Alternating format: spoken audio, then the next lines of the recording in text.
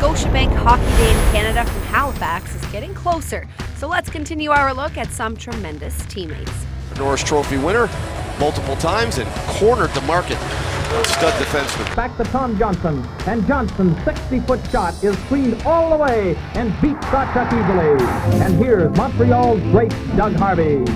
Petey Marty Pavelich, number 11, is neatly sandwiched by Doug Harvey and Dollard Saint Laurent. This guy was one of the two best defensemen ever to play. This blue liner played over 800 games for the Bruins and represented the Bees in four consecutive All-Star games. Defenseman Dallas Smith. That's Bobby Orr's 100th point of the season. No other defenseman in the National Hockey League history has ever done it. Now to Huddy. Over to Coffey. He scores! Shot by Johnny and he scores! To the point. Huddy shoots, scores! Charlie Huddy adds to his offensive totals. Knocked down in front. Murray spins around, he scores!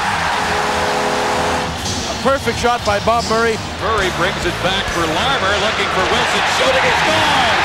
A very dangerous man.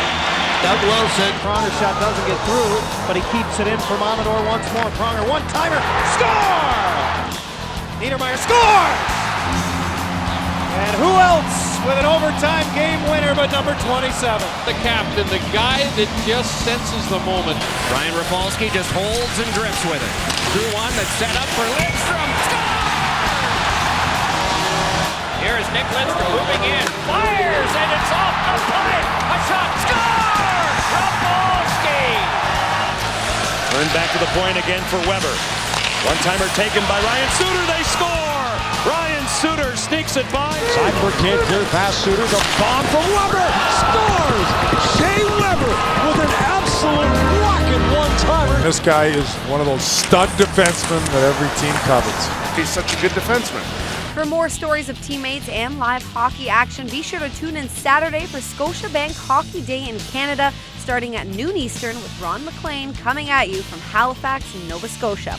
Also, you can catch two Game Plus games with the Maple Leafs versus the Canadiens, followed by the Canucks and Flames, both featuring the My Replay and Innovation cams to experience the game like never before.